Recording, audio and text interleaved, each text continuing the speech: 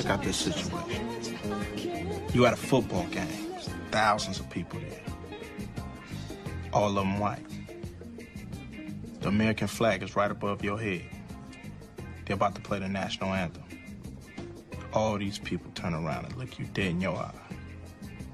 What do you do? I stand up. you know, I'll probably be so embarrassed. You know, stand up, you know what I'm saying?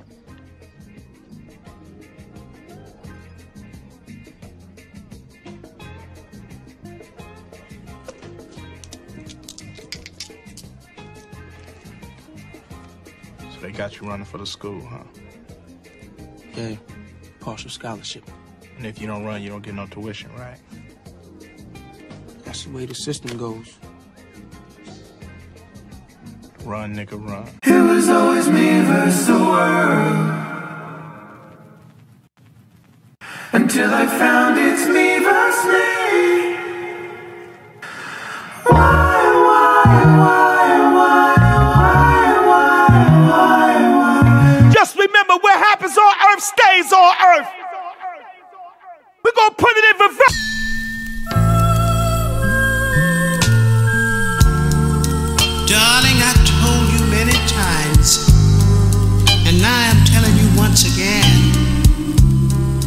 To remind you, sweetheart, that my Came a long way from flipping them bricks. I came a long way from the ski mask hitting licks.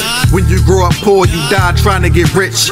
Times really change, your favorite rapper's a snitch. That's why I only fuck with a few, I stay out the mix. Slide on you like hockey pucks, No, we got them sticks. Really with the shits, I'm on edge, don't push me. Kill me like they did Fred Hampton and ambush me. Police taking knees, same knees, killing niggas. Kneel when the anthem playing if it's real, niggas. Kaepernick got crucified, now that niggas looting and shooting. Do they really care or is it just a pacifier?